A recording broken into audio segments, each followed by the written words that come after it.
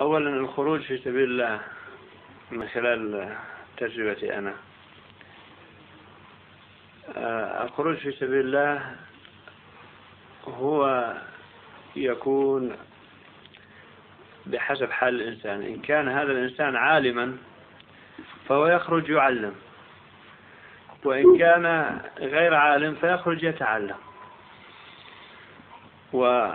والتعلم في الخروج في سبيل الله ليس تعلم علم المسائل وعلم الحديث والفقه ولكن تعلم علم الفضائل حتى ينشرح القلب والصدر فيكون عند الإنسان الرغبة والإقبال على طاعة الله عز وجل والمحافظة على أوامر الله والمحافظة على سنة النبي صلى الله عليه وسلم.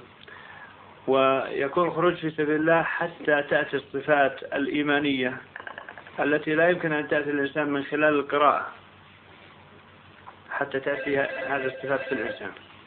يعني مثلا صفات الصبر. نعم. فالخروج في سبيل الله يخرج فيه العالم والجاهل العالم يعلم والجاهل والأمي وطالب العلم يتعلم. والعلم يكون علم الفضائل حتى ينشرح القلب والصدر لتطبيق ما يسمع.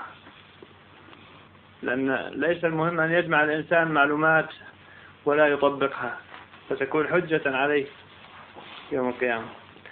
وحتى يأتي فيه عظمة السنة وتقديرها وتعظيمها. يعني أنا رأيت واحد في باكستان كان بيتوضأ. هو رجل يعني عمره حوالي سبعين ثمانين سنة.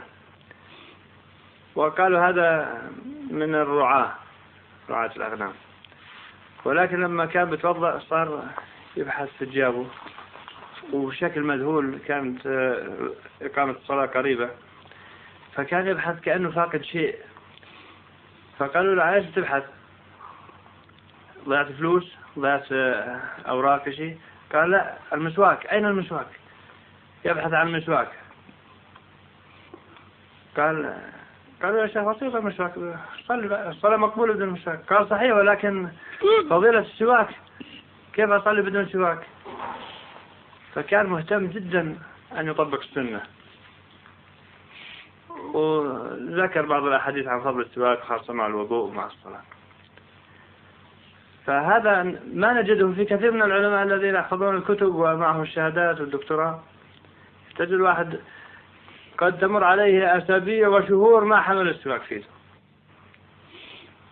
كذلك الاهتمام مثلا في صلاة الجماعة الاهتمام في الأمر المعروف والنهي عن المنكر. تجد كثير من العلماء يجلس في المجالس كلها منكرات ولا يحرك ساكنا لا بأسلوب حسن ولا بغير حسن. فعظمة الدين وأهمية الدين تأتي في القلب من خلال الخروج في سبيل الله تطبيق السنة في البيت في على أهل البيت على الشخص في العمل في السوق في التعامل مع الأقارب مع الأصدقاء. كل هذا. وكذلك الصفات الإيمانية مثل الصبر الحلم المسامحة العفو. استجابة الدعوة للإصلاح مثلا بين الناس. كثير من الناس أعرفهم كان متكبر جدا يعني يكون الحق عليه مخطئ والحق عليه. وبيجي صاحب الحق بيستسمحه حتى يصلح بينه وبينه ولكن يرفض. وبتعنت وبتكبر وبوصلها لأعلى المستويات. لكن لما خرج في سبيل الله صار هين لين عنده الصفات الإيمانية يعفو ولو كان الحق له ويسامح بحقه.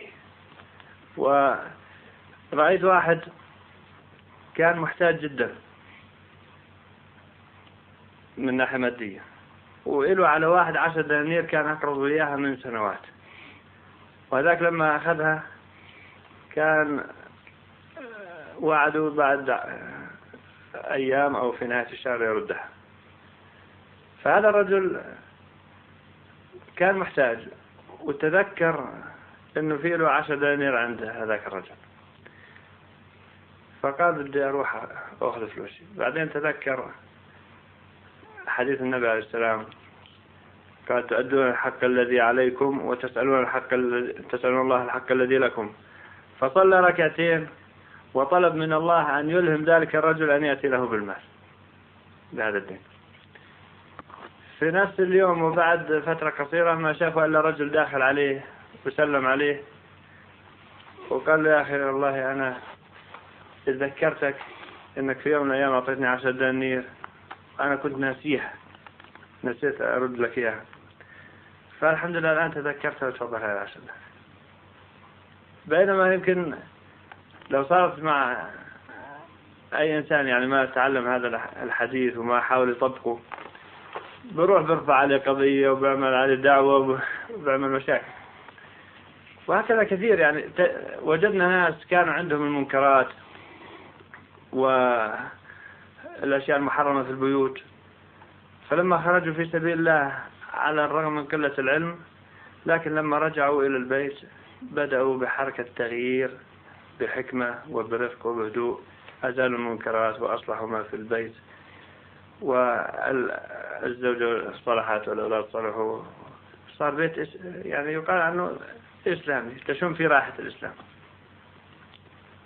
بينما كثير من مع احترامي للعلم وأهل العلم طلاب مثلا خرجوا من كلية الشريعة. تدخل بيته أبدا كأنه بيت يهودي أو نصراني. الصور والتماثيل ومن جميع الأشياء. حتى أعرف بعض الناس تخرجوا من كلية الشريعة زملاء لي وهم لا يصلوا الله. أعرف واحد تخرج من كلية الشريعة في الفترة اللي كنت أنا أدرس فيها المساحة. وما كان يصلي. واحد عين قاضيا ومعه ماجستير في الشريعة وهو لا يصلي. هذا شو منه كثير. نعم. وتجد كثير من طلاب العلم كذلك في كلية الشريعة يتعامل بالربا يتعامل بالمحرمات يستمع الأغاني والموسيقى. فالخروج في سبيل الله لجميع مستويات الأمة. الجاهل الذي لا يفقه في الدين شيء وطالب العلم المتوسط والعالم. فكل واحد يأخذ على قدر حاله. إما أن يكون عالم فيعلم ويفيد والحمد لله خرجنا مع علماء في سبيل الله. استفدنا منهم كثير. منهم الدكتور نعمان أبو الليل أستاذ التفسير كان في الجامعة الإسلامية والآن في باكستان. وخرجنا مع ناس قدماء في الدعوة. ما هم علماء ولكن يعني مارس الدعوة من منذ أمد طويل صار عندهم صفات إيمانية عجيبة. يعني تحس فيهم الإخلاص والنور والبركة. هل تظن أن هذه الحسنات التي ذكرتها لا توجد إلا في الجماعة الذين يخرجون كما يقولون في لا سبيل الله؟ هي موجودة في في كثير من الناس. معلش نعم. إذا كان هذا الشيء موجود في غير جماعة التبليغ مثلا فكيف حصلوا ذلك؟ بطريق الخروج؟ نعم بطريق الخروج. هم حصلوا هذه الصفات. يمكن لا ما ما فهمت عليها؟ كان سؤالي بارك الله فيك. ألا يوجد جماعة آخرون آه، متخلقون بالأخلاق التي ذكرتها وربما بغير من بغيرها وبأحسن منها. وليسوا من جماعة التبليغ ولا هالخصال الحسنة محصورة في جماعة التبليغ؟ لا موجودة في كويس هذا كان سؤالي الأول. السؤال الثاني هل هؤلاء الذين هم ليسوا من جماعة التبليغ حصلوا هذه الخصال الحسنة بالطريقة نفسها التي يحصلها جماعة التبليغ أم بطريقة أخرى. فإن قلت هي بطريقة جماعة التبليغ ما أظنك تقول هذا لأنك تعلم أنهم ليسوا من جماعة التبليغ ولا هم على منهج جماعة التبليغ. أظن ستقول هذا ولا عندك رأي ثاني؟ لأني سأقول حصلوا ما حصلوا بطريقة أخرى غير طريقة الخروج هذا. أريد أن أقول مع احترامي لك ولا أقطع حديثك أن الأعمال التي يمارسها الإنسان وهو خارج في الدعوة قد يمارسها وهو غير خارج في الدعوة. حسن هذا الذي يعني مثلا حلقات العلم. هذا الذي نريده. نعم. ما يحتاج الأمر إلى شرح لأنه أنا حطيت طريقتين. طريقة الخروج كما تقولون في سبيل الله لتحصيل هل المحسنات هذه الصفات. وطريقة غير الخروج. فكل من الطريقين عم يحصلوا الخصال بدليل إيش؟ الواقع. الوجود نعم. كويس. اذا اذا أنا أريد أن ألفت نظرك وأنت إن شاء الله اسم على مسمى عقل. حتفهم علي ما أقول. اذا إذا كان هناك في طريقة أخرى آه، تمكن بها من تمكن من تحصيل تلك الصفات التي تسمونها بالصفات الإيمانية. فإذا ما ينبغي نحن أن نوهم الناس ولو بغير قصد أن الطريق لتكميل هذه الصفات الإيمانية هو الخروج المسمى بالخروج في سبيل الله. لأنه حينئذ بنكون عم نفهم الناس أنه كما قال تعالى وأن هذا صراطي مستقيما فاتبعوه ولا تتبعوا السبل فتفرق بكم عن سبيله حاشا لله ما نقول هذا؟ أنا عارف هذا. لذلك عم أقول لك وإلا بدنا نضطر نقول هيك وأنت وين حتقول هيك إذا ليه نحن حاطين دأبنا بدأب الدعوة إلى الخروج في سبيل الله؟ على ما ذكر وذكرت أيضا أن ناس بيخرجوا ما في عندهم علم لكنهم يتعلمون. هذه واحدة يا أستاذ عقل. خلينا نجيب و... عليها؟ نعم. أجيب عليها؟ لا ما عندك جواب عليها لأني أقول ما أنت موافق عليه. شو بدك تجيب عليه؟ آه، توضيح. لا لا ما يحتاج الأمر. إما أنك موافق أو مخالف. إذا موافق أنا بمشي في سبيلي لأنه هو سبيلك. نعم. وكنت مخالف بقول لك تفضل بين. لا موافق. هذا هو. موافق. اسمح لي إذن. تفضل.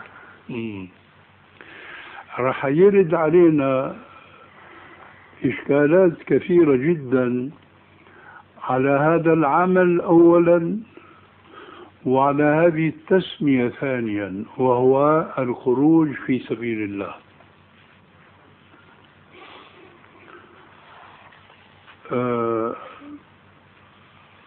أعتقد أنه إن خفي على بعض الناس ما سأقوله فلا أقول في ظني بل في اعتقادي أنه سوف لا يخفى عليك وهو أن خير الهدى هدى محمد صلى الله عليه وسلم وأن الأمر كما قيل من أهل العلم وكل خير في اتباع من سلف وكل شر في ابتداع من خلف. إذا كان هذا كما قلت بالنسبة إليك أنه إن كان هناك من يخالف فيما أقول فأنت لست منهم بل أنت معنا فيما نقول أن خير الهدى هدى محمد صلى الله عليه وسلم. وأن كل خير في اتباع من سلف وكل شر في ابتداع من خلف. الآن نحن نسمي هذا الخروج بالخروج في سبيل الله. سبيل الله كان موجودا في القرون الثلاثة المشهود لها بالخيرية ولا مفقودا. موجودا. ما تستطيع أنت أن تقول أنت غير قد يقول. أما أنت بصورة خاصة المسمى بعقل ما تستطيع أن تقول إلا أنه كان موجودا نعم. فهل تعلم وجود هذا الخروج في ذلك الزمن الذي كان فيه الخروج في سبيل الله معهودا ومعمولا به فهل أنت معتقد أن هذا الخروج الذي يقوم به الآن جماعة التبليغ. كان موجودا في ذلك الزمان أي زمان وجود الخروج في سبيل الله؟ ما أظنك تستطيع أن تقول نعم. أنا أستطيع أن أقول نعم. تفضل. الآن هنا بقى نحن مشينا في خط متفقين تماما ها؟ نعم. أما الآن شو بدأ؟ صار شيء لكن سنلتقي إن شاء الله. إن شاء الله. آه. هات نشوف ما دليلك على أن هذا الخروج كان موجودا في ذلك الزمان الذي كان فيه متحققا الخروج في سبيل الله؟ أنا بشوف القضية متناقضة. يعني موجود ومش موجود. هذا في تصورنا نحن انت بقى بدك تقربنا. هالشيء نحن عم نتصور متناقض. وهات نشوف اثبت لنا أين كان هذا الخروج وما بدأ متى بدأ ومتى وقف.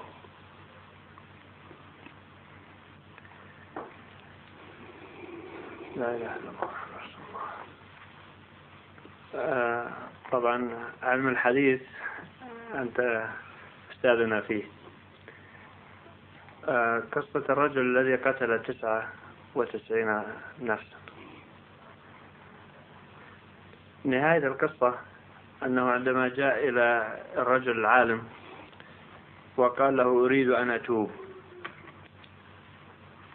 قال له نعم لك توبة. بجوز قاطع كلامك؟ تفضل. أنت ظاهر ما أدركت سؤالي. أدركت لكن أنا هذا كمقدمة. للحديث لا بس بتكون مخطئ. خاصة تقول لي أنت في الحديث كذا. الحديث اللي بدك تذكره ليس له علاقة بخروجكم. له خرا له علاقة بخروج شخص معين يعيش في جو فاسد فيؤمر من العالم وليس من الراهب الجاهل. يؤمر بأن ينتقل إلى بلدة أخرى صالح أهلها. وفعلا يستجيب ويأتيه الموت في الطريق وتتولاه ملائكة الرحمة. نعم. إيش علاقة هذا بالذي نسأل عنه؟ العلاقة وثيقة. لا. العلاقة وثيقة. أننا نعيش في بيئة فاسدة ونحتاج إلى بيئة صالحة حتى نصلح فيها. يا شيخ أنتم عم ترجعوا للبيئة الفاسدة بارك الله فيكم. نرجع للبيئة الفاسدة حتى نصلحها. لا. أو حتى نعيش فيها ونحن محفوظين من لا هذا ولا مؤاخذة هذه مغالطة مكشوفة. كيف؟ هذه مغالطة مكشوفة تماما. لأنكم إذا رجعتم إلى البيئة لتصلحوها فلماذا تخرجون منها؟ فأبقوا فيها وأصلحوها. لأنه الإنسان الحديث هذاك بيقول لك إيه نعم شو بيقول له في الحديث؟ إيه نعم أنت في أرض عرض سوء. أرض آه نعم فاخرج منها إنك بأرض سوء فاخرج منها. نعم.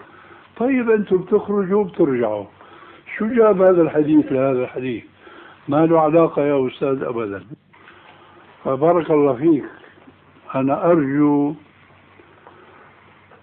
أن تستعمل الذي سميت به. آه. تستعمل الذي سميت به. لا. اسمح لي اسمح لي شوي. ما تتأثر بالتلقينات التي تلقنها من الجماعة من الحزب؟ لأنه هي مشكلة الأحزاب القائمة اليوم على وجه الأرض. الحمد لله ليست حجبي ولا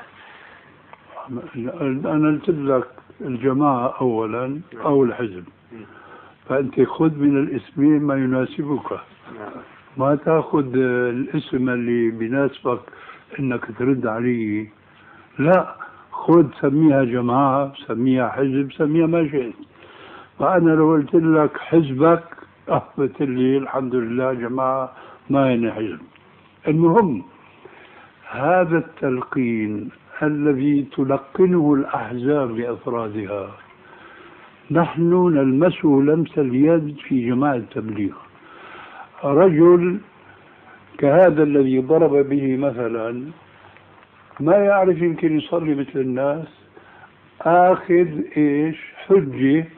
طالما سمعتها من المتعلم من العالم والمتعلم والجاهل كلهم سواء من جماعة التبليغ. بيقول لك الرسول قال بلغوا عني ولو آية. منين تعلم هاي؟ نحن نبح صوتنا نتحدث بأحاديث الرسول عليه السلام. نادر ما واحد يجي يحفظ حديث. ليش؟ لأنه ما عم نجي نلقنه إلا تحفظ هذا الحديث. عم نروي له أحاديث بالعشرات والمئات. لكن هنا في توجيه مخصص أنه أحفظوا يقولون كذا والجواب كذا وإلى آخره. بلغوا عني ولو آية. طيب هذا حديث صحيح. لكن هذا ملقن الرجل. ولذلك لما بيجي بيتكلم معه رجل عالم هو بيذكر له الشيء اللي إيش؟ سمعانه. بس ما بيعرف إنه هذا له علاقة بهذا الكلام بيسمع ولا لا.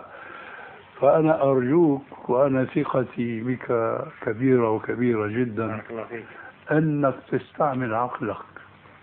القصة هذه لها علاقة بإنسان شرير قتل تسعة وتسعين نفسا ثم الله أراد له الهداية. فأراد أن يتوب لكن ما بيعرف طريقة التوبة ما هي. فسأل عن أعلم أهل الأرض فدل على راهب يعني على جاهل متعبد. فذهب إليه. قال له أنا قتلت تسعة وتسعين نفسا. هل لي من توبة؟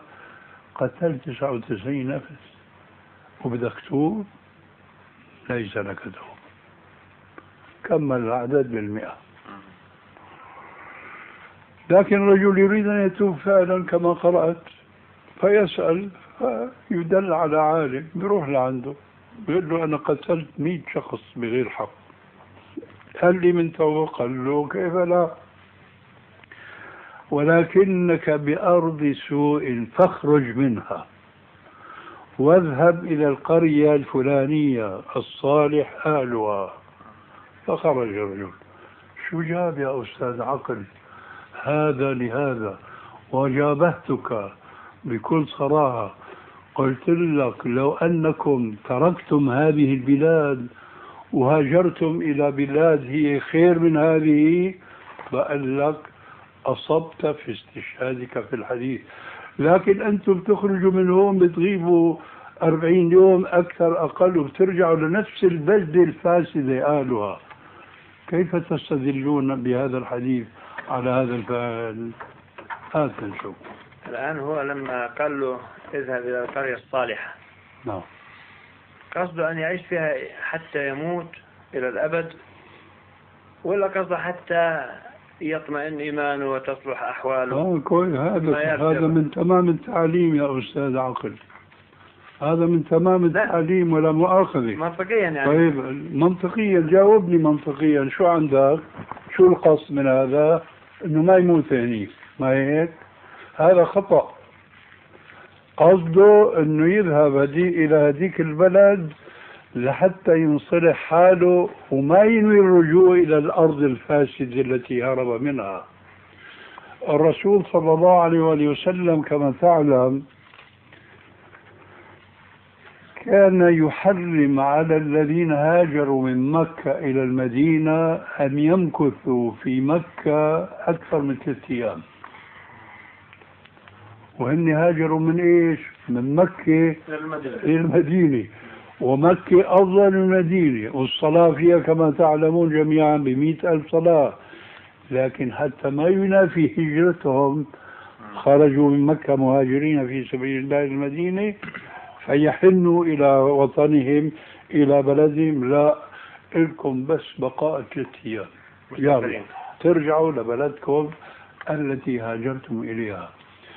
فهذا الحديث الحقيقة هذا الحديث أنا أذكره بمناسبة كثيرة والأخ عنده مئات الأشرطة من المحاضرات والكلمات اللي بتكلم فيها من جملة هذا الحديث بالذات أنا أضعه في موضوع ألا وإن في الجسد مضغة إذا صلحت صلح الجسد كله. وإذا فسدت فسد الجسد كله ألا وهي القلب. هذا القلب يكون صلاحه بصلاح الجوارح. وصلاح الجوارح بيكون بمخالطة الأخيار ومنابذة الأشرار. والرسول عليه السلام ولا أريد أن أطيل عليك آه، ذكر أحاديث كثيرة جدا جدا يؤكد فيها على صحبة الأخيار فيقول من جامع المشرك فهو مثله أي خالطه. ويقول أنا بريء من مسلم يقيم بين ظهراني المشركين. ويقول المؤمن والمشرك لا تتراءى نارهما. وأذكر هنا كلاما طويلا آه، لتأكيد ضرر صحبة الأشرار. وحسبك تذكيرا قوله عليه السلام مثل الجليس الصالح ومثل الجليس السوء. مثل الجليس الصالح إما أن يحذيك هو البائع العطور إما أن يحذيك وإما أن تشتري منه. وإما أن تشم منه رائحة كريهة. ومثل الجليس السوء كمثل الحداد إما أن يحرق. والأخ عنده مئات الأشرطة من المحاضرات والكلمات اللي بتكلم فيها. من جملة هذا الحديث بالذات أنا أضعه في موضوع ألا وإن في الجسد مضغة. إذا صلحت صلح الجسد كله. وإذا فسدت فسد الجسد كله ألا وهي القلب. هذا القلب يكون صلاحه بصلاح الجوارح. وصلاح الجوارح بيكون بمخالطة الأخيار ومنابذة الأشرار.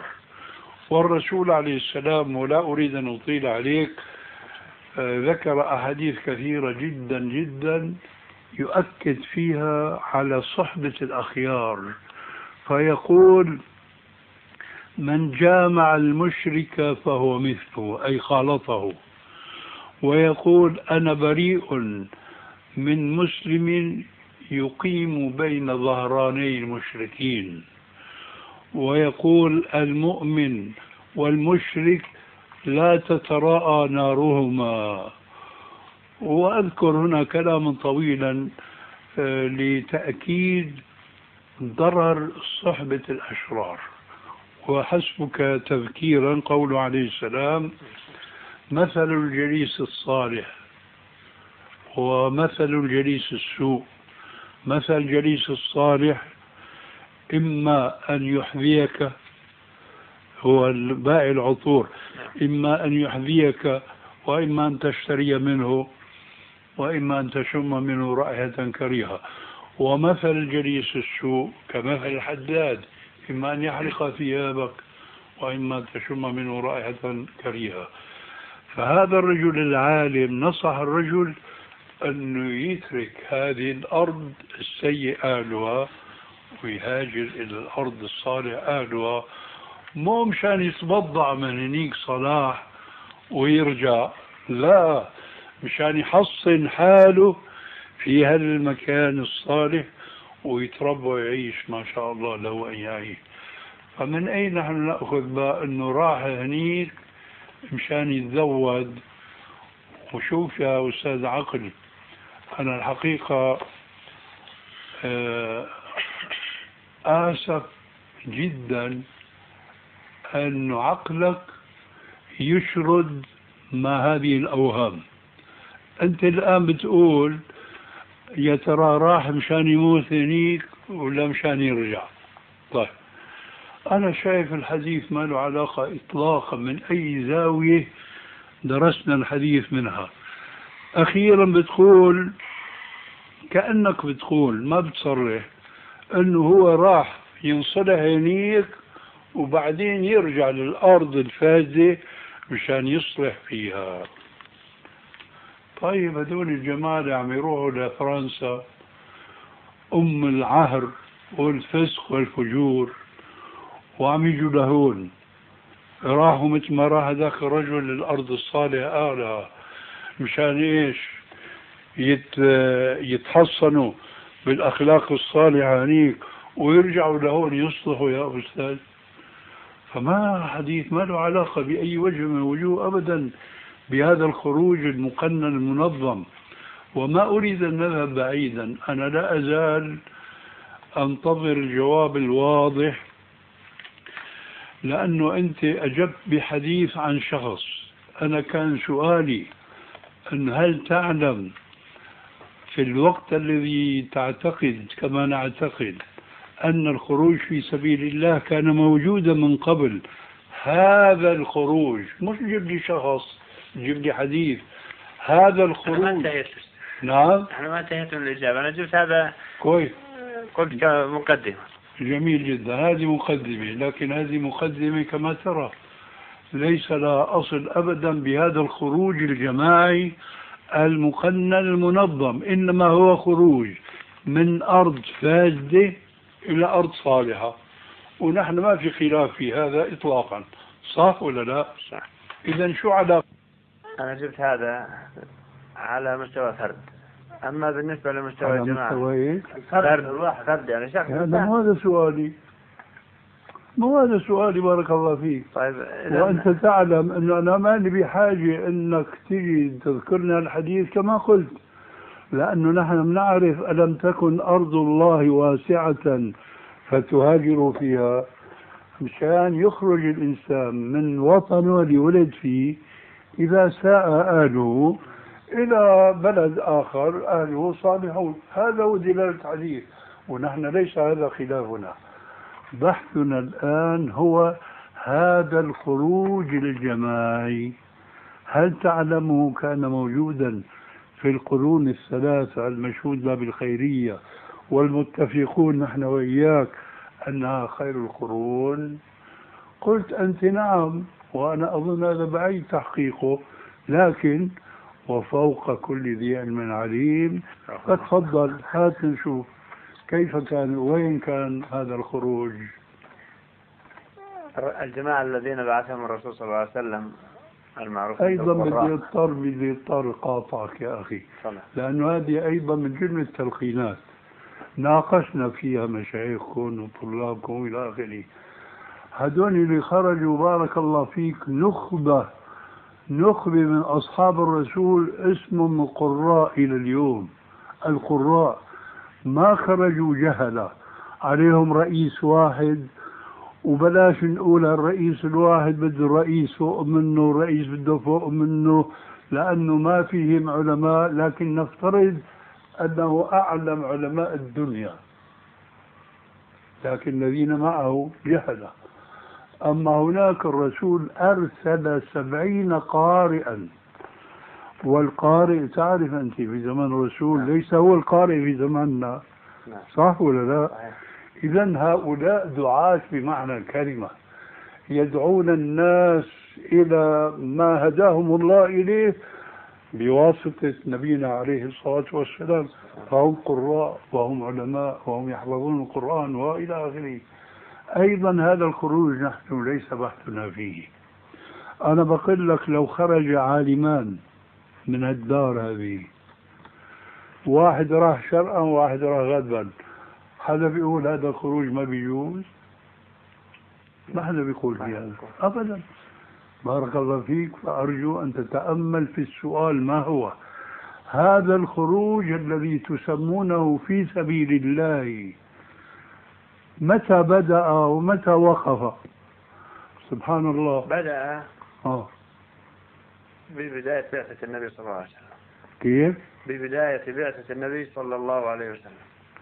أيضا أنت نسيت ما ذكرتك الآن. يا أخي ما عم نحكي عن خروج الفرد. أنا ضربت لك مثل الآن في عالمين. عالمين إذا واحد شرع واحد غرب. للدعوة في سبيل الله. هل هو هذا الخروج اللي عم نتكلم عنه؟ لا. هذا خروج علماء.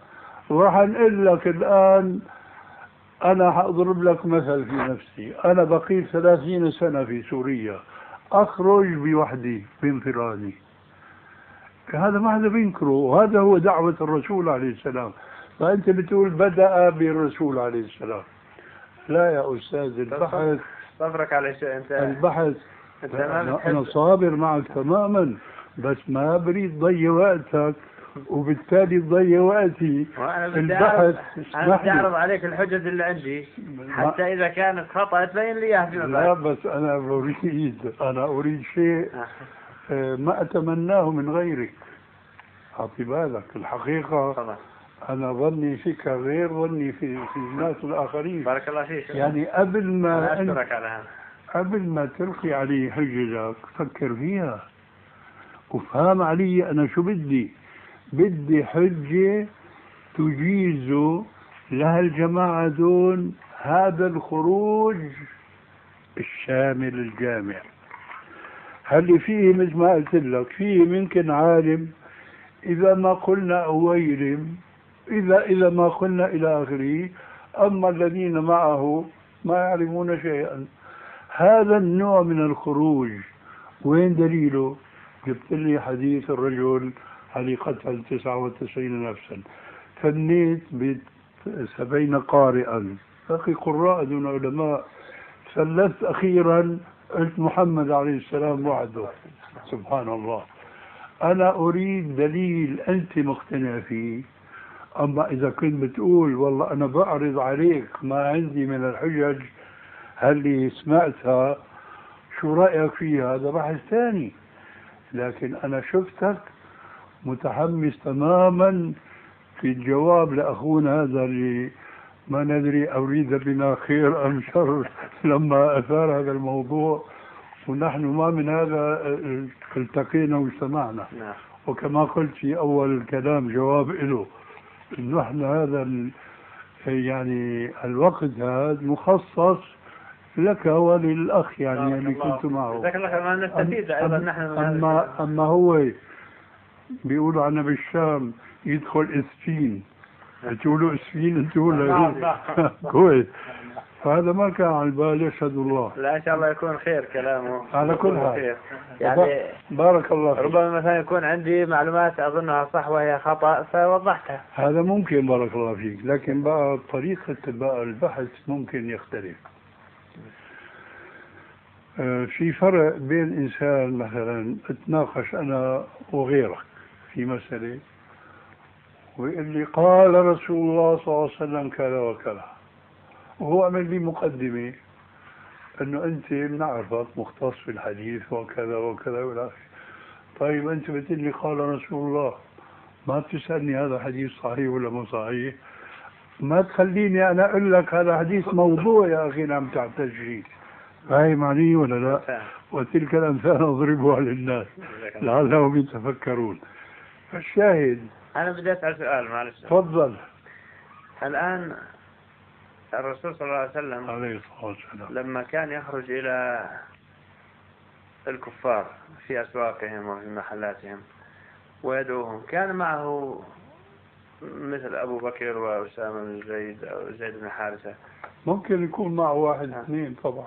واحد اثنين أو أكثر. ممكن يكون ما في مانع. فالعالم فيهم هو الرسول عليه السلام. عليه الصلاة والسلام نعم. والذين معه نعم. هم بالتأكيد أقل علما منه. أكيد. إن لم نقول يعني قد يكونوا جهلة في بادئ الأمر في بادئ أمر الدعوة يعني ما كان عندهم رصيد من العلم ولا كان عندهم آه، إيه لا لما بتوصل للنقطة بيختلف الجواب.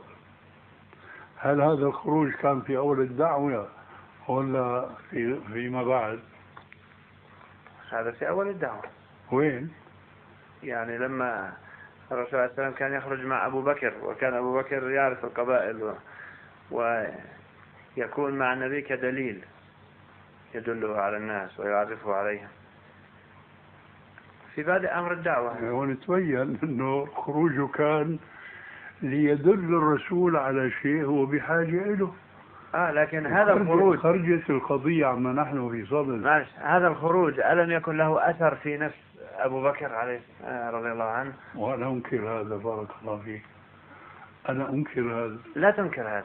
إذا ليش عم تسأل السؤال؟ أيوة أنا أريد أن أخرج إلى نتيجة. تفضل. أنه إذا خرجت جماعة طب. فيهم إنسان متعلم عالم أو طالب علم طب. ومعه ناس أميين جهلة عصاة ولكن يريدوا أن يستفيدوا يستفيدوا علم يستفيدوا صفات يستفيدوا إيمان. هل نقول أن هذا الشيء يعني لا يجوز أو ماذا نقول؟ إذا أنت تقف عند حدود السؤال وما تعالج الواقع له جواب أما إذا كان قصدك بالسؤال معالجة الواقع فإله جواب ثاني آه. الذي تريده؟ كلامك مش واضح لي إيش يعني أعالج الواقع؟ الواقع يعني المبحث فيه هذا الخروج الواقع اليوم هل خرج من الهند من السند ما أدري منين نعم. وعم إلى آخره البلاد الإسلامية ما شاء الله منها هو هذا اللي عم تسأل عنه أنت ولا عبارة عن خروج مصغر لا هذا اللي بقصده إيش بتقصده؟ الخروج هذا؟ نعم هذا اللي أنا عم أسألك إيه. تقصد هذا ولا نعم هذا بقول لك لا الخروج المصغر دائما موجود في كل عصر في كل نعم. قطر في كل مصر هذا صحيح صحيح نعم. ولذلك في فرق بقى بين السؤال الذي بتسأله أنت ويكون الجواب أنا بقول لك نعم هذا موجود وهذا مشروع وبتأكد أنت بتقول هذا صحيح. لكن هذا الصحيح ما بيصحح هذا الخروج الذي نحن الآن ندندن حوله. لماذا؟ لأنك أنت وأنا متفقين أنه مثل هذا الخروج الأول اللي اتفقنا على صحته موجود. كما قلت أنا آنفا. موجود صحيح. موجود في كل عصر وفي كل قطر ومصر. لكن هذا الخروج لا أصل له إطلاقا في كل القرون الإسلامية اللي مضت فإذا هذا غير ذلك ألا نقول أن هذاك الخروج اللي أقرنا عليه أو أقرناه هو أصل لهذا الخروج؟ لا. ولما؟ أبدا. سبحان الله. هذا اللي بيقول راح ألفت نظرك بهذا الشيء هذا مثل اللي بيستحسنوا كل بدعة تخرج اليوم وقبل اليوم يجيبوا لك أدلة عامة. هذه الأدلة العامة ما تشمل الحادثة الخاصة. وخلينا ناخذ مثال هو من أبسط الأسئلة. يقول قائلهم ليش عم تنكروا الصلاة على الرسول بعد الأذان؟ ألا يشمل هذا الصلاة على الرسول بعد الأذان؟ قوله تعالى مثلا صلوا عليه وسلموا تسليما.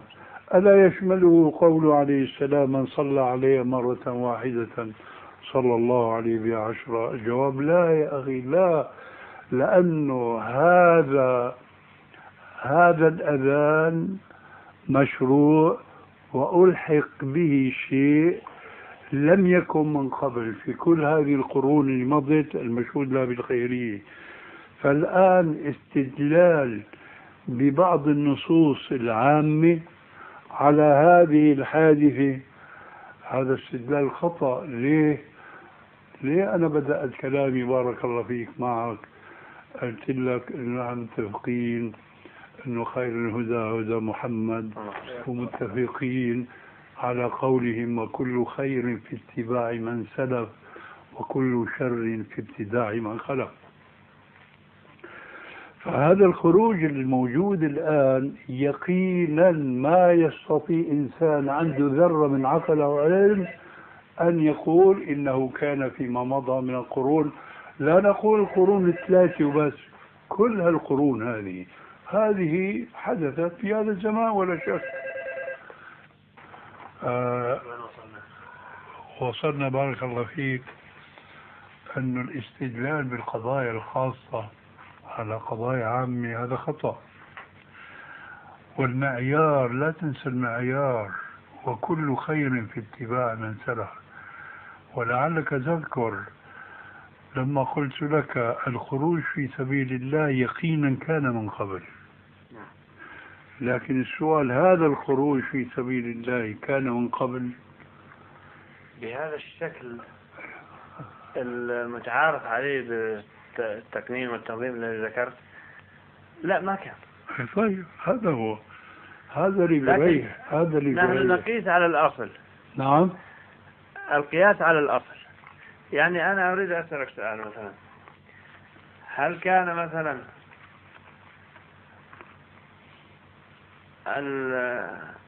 الصحابة رضي الله عنهم ابن عباس مثلا كونه مؤلف وعالم في التفسير هل كان يجلس مثل جلسة هذه على آه، في هذه المكتبة وأمامه الطاولة وعنده الرفوف وعنده الأجهزة الكهربائية والإلكترونية؟ لا والله. ما كان.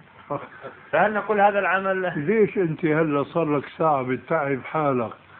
مشان ما تقول هالخروج ما كان. ليش؟ ليش ما كنت مثل حكايتي؟ بقول لك لا والله ما كان ابن عباس هيك. ليش انت ما بتقول عن الخروج؟ لا والله ما كان. ليه؟ بس بتحاول تجيب حديث واحد واثنين وثلاثة والى آخره مشان مثل ما بيقولوا عنا بالشام ولا مؤاخذة مشان نغطي السماوات بالأبوات. ليش؟ مشان هذا أنا بقول لك يا عقل. يا عقل. خلينا خليك عقل. مشان هيك بقول لك أنت لا تتلقن. ناقش الادله خروج الرجل هربا من بلاد الفسق والفجور إلى البلد الصالح أهلها. منقيس عليه خروج المسلمين من بلدهم الصالح على عجره وبجره اعطي بالك خروجهم يقاس خروجهم من بلد الصالح على عجره وبجره إلى بلاد الفسق والفجور إلى أمريكا إلى بريطانيا. هذا يقاس على هذا. سبحان الله ابن حزم الظاهري من كبار علماء الأندلس. ويسمى بالظاهري لأنه يعتمد على النصوص في الظاهر بطريقة فيها جمود متناهي جدا. ولسنا الآن في هذا الصدد. من جموده ينكر القياس خلافا لجماهير العلماء. والقياس الحقيقة هو الدليل الرابع لعلك تذكر معي القرآن والسنة والإجماع والقياس. فآخر الأدلة الأربعة هو القياس. ليش؟ لدقته. مو كل واحد يستطيع يقيس خذ بالك.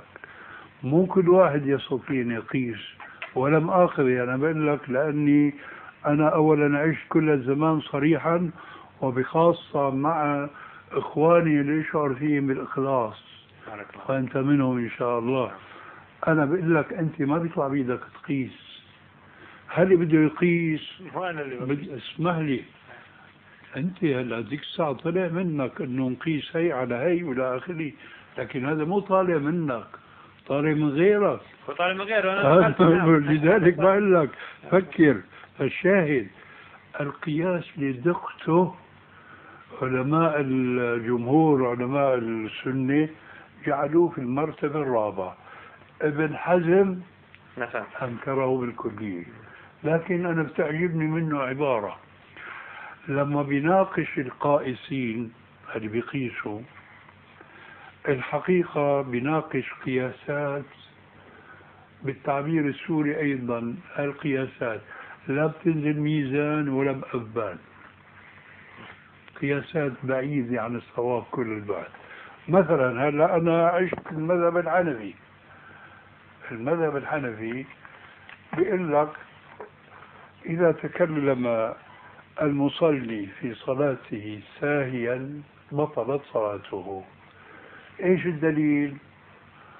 قال قياسا على المتعمد. الله أكبر. هذا قياس النقيض على نقيضه. نعم. يقاس الساهي على المتعمد ابن حزم بقى شاهدون. لما بيناقش هيك أقوال هيك قياسات شو بيقول؟ ليش هي عنده؟ يعني بكررها دائما. بيقول أولا القياس كله باطل. هو هيك بيقول. لكن أنا شاهدي في تمام كلامه. ولو كان منه حق لكان هذا منه عين الباطل. فهمت كلامه؟ ما ضل شيء. ها؟ ما ضل شيء. آه. الشاهد القياس يا أخي ما هو بسهل ابدا. هلا شيء بجر شيء. علماء نجد علماء محترمين. وهن أحسن موجودين اليوم على وجه الأرض. الإسلامية طبعا لأنه ما في غيرها. ولكن مع ذلك لهم أشياء نحن ما بنوافق عليها. السبب عدم دقة النظر. فأنت بتعرف مثلا أنه هن بيضعوا أيديهم بعد الرفع من الركوع؟ نعم. شو حجتهم؟ طبعا لهم حجة نعم. ما بيقولوا شيء عن عبث لكن نحن بدنا ندرس هذه الحجة بدنا نتأمل فيها. هل هي صواب ولا خطأ؟ بيقولوا كان رسول الله صلى الله عليه وسلم إذا قام في الصلاة وضع اليمنى على اليسرى. قام في الصلاة هذا قيام. كلام صحيح. أنا شو بقول بقى؟ بقول هذا دليل لا ينهض. مع أنه أنا بقول معهم أنه هذا حديث صحيح. كان إذا قام في الصلاة وضع اليمنى على اليسرى. صحيح. حديث صحيح. لكن هذا القيام الثاني شو الدليل أنه داخل في هذا النص اللي أول ما بينصب بينصب على القيام الأول؟ واضح كلامي إلى هنا؟ آه. هذاك عام. نعم. هذا كلام عام وما بخص أحسنت. ما بكفي يقول هون بقى الشاهد. ما بكفي الواحد منهم يقول يا أخي كلام هذا نص عام. بيشمل القيام الأول وبيشمل القيام الثاني. لأنه نحن بنقول جاءت نصوص كثيرة في أن الرسول كان يضع اليمنى على اليسرى في القيام الأول. فهل عندكم نص واحد أن الرسول كان يضع في القيام الثاني؟ لا وجود لهذا النص. إذا هذا الدليل العام لا يصلح الاستدلال به في خصوص هذا العمل الخاص. واضح؟ أقرب لك الموضوع بشيء ما وقع بعد. لكن أخشى أن يقع. إذا دخلوا جماعة في وقت الظهر مثلا واحد بده يصلي السنة شرقا من المسجد ثاني غربا إلى آخره. واحد ينادي بيقول له يا أخوانا تعالوا نصلي جماعة. قال عليه السلام يد الله على الجماعة. هي حديث؟ خلينا نصلي السنة القبلية جماعة. وربما بيتبع هذا الحديث بحديث ثاني. صلاة الجماعة تفضل صلاة الفرد ب 25 أو ب 27 درجة. وربما بيلحقه بحديث ثالث. صلاة الرجل مع الرجل أذكى من صلاته وحده. وصلاة الثلاثة أزكى من صلاة الاثنين وهكذا. أحاديث صحيحة لكن استدلال غير صحيح. يا ترى بإيش بدنا نرد نحن يا أستاذ على هؤلاء الذين استدلوا علينا في هذه الظاهرة هاي في التجميع لصلاة السنة؟ ما في عنا حديث أن الرسول قال لا تصلوا في السنة القبلية جماعة ما في عنا هيك حديث. لكن شو عنا؟ فعل النبي عليه السلام. نعم؟ فعل النبي والصحابة. أيوة بارك الله فيك. فهل فعل الصحابة هذا؟ الجواب لا. يا ترى فهموا الأحاديث هذه فهما صحيحا؟ الجواب بلى. ترى فهمهم كان كفهمك أنت؟ الجواب لا. لأنه لو كان الجواب بلى أيضا هل تركوا تطبيق ما فهموا وجيت أنت تستدرك أنت حيث شاركتهم في فيما فهموا لكن خالفتهم في التطبيق لأنهم ما طبقوه؟ الجواب لا. هذا المثال بارك الله فيك بيوضح لك إنه أي تكتل أي تجمع لم يسبق له سلف في العهود الطاهرة النيرة هذا نحن راح نلاقي له سند. مثل ما هذا الرجل لقى له ثلاث سندات ثلاث أحاديث لكن استدلال بهذه الأحاديث خطأ لأنه السلف ما فعلوا هذا. أنه قياس صورة على صورة هذا أمر دقيق. صعب صعب جدا أولا وبخاصة إذا تعارض هون بيت القصيد مع حياة المجتمعات الإسلامية الأولى فضلا عن المجتمعات الدنيا لأنه في أشياء مثلا تغيرت وتبدلت بعد القرون الثلاثة لكن في أشياء والحمد لله لا نزال محتفظين فيها لا فرق بين سلف وبين خلف مثلا محافظة على الصلوات في المساجد هذا توارثه المسلمون خلف عن سلف نعم. آه لكن في أشياء يفعلها الخلف ما فعلها السلف. لذلك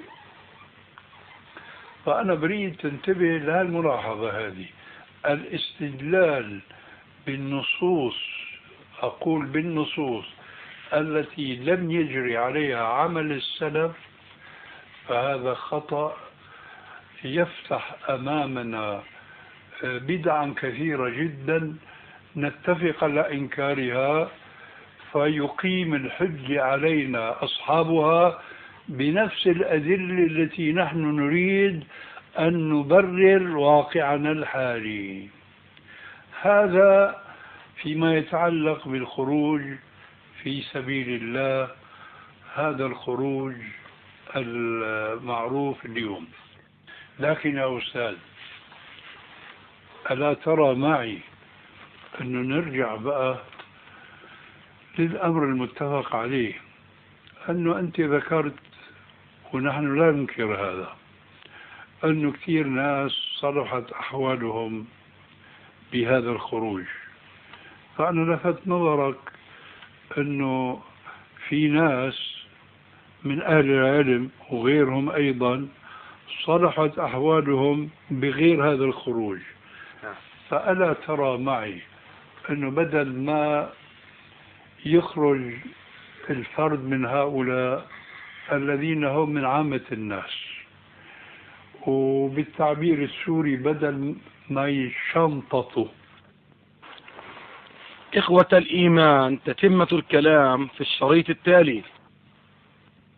يعني يبتعدوا عن بلدهم وأهلهم وإلى آخره. أليس الأولى بهم أنه يجلسوا في بلدهم؟ كجماعة يتكتلوا حلقات في المساجد يدرسون فيها القرآن يدرسون فيها السنة يدرسون فيها الفقه. أليس هذا أولى من هذا الخروج؟ هذا كلام طيب. بارك الله. لكن لذلك نحن ننصح هؤلاء وأنا أعرف جيدا بأنه كثير من الذين يخرجون يخرجون لوجه الله. لا يريدون جزاء ولا شكورا ولكن ولكن أوردها سعد وسعد مشتمل. ما هكذا يا سعد تورد الإبل؟ فهذول المخلصين نحن كلامنا معهم وإلا كل جماعة فيهم مغرضين. هذول المخلصين ليتنادوا ليجدوا شخصا يدرسهم القرآن مثلا التجويد في مسجد من المساجد في بيت من بيوت الله كما قال عليه السلام. ما اجتمع قوم في بيت من بيوت الله يتلون كتاب الله ويتدارسونه بينهم إلا نزلت عليهم السكينة وغشيتهم الرحمة وحفتهم الملائكة.